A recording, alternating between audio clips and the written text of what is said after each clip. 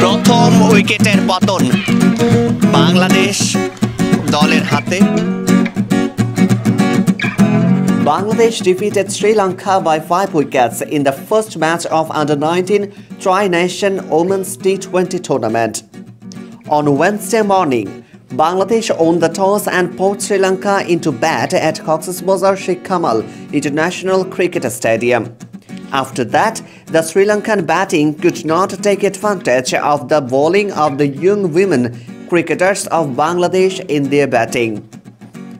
One after another wickets keep losing.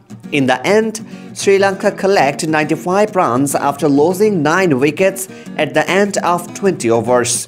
Bangladesh's opening batsman got off to a good start chasing the target of 96 runs.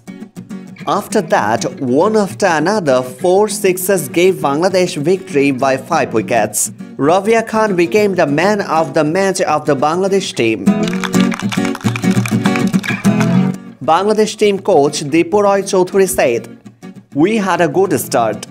Rabia bowled well and kept the Sri Lankan batsman at bay. Besides, the whole team played well.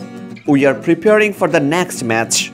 এই খেলাটা খুব আমাদের জন্য খুব important ছিল because এই, এটা try try নেশনের এটা হলো ফার্স্ট খেলা। তো আমরা আমরা একটা ভালো স্টার্টিং করতে চেয়েছি। কিন্তু আমরা যখন টসে ফার্স্ট আমরা টসে জিতেছি, তারপরে আমরা ফিল্ডিং ফিল্ডিং নিলাম। সেখানে রাবেয়া কিন্তু সাংঘাতিক বোলিং করছে। আমরা যখন ব্যাটিংয়ে আসছে খুব সুন্দর ব্যাটিং মানে they was a good start Suborna স্টার্টটা ভালো করছে। তারপরে ইরা খুব ভালো খেলে গেছে। ওই অ্যাঙ্কার অ্যাঙ্কারের রোলে যাতে সেটা টেনে নিয়ে গেছে। তো আমি মনে করি এই খেলাটা কিন্তু কমফোর্টেবলি জিতেছি।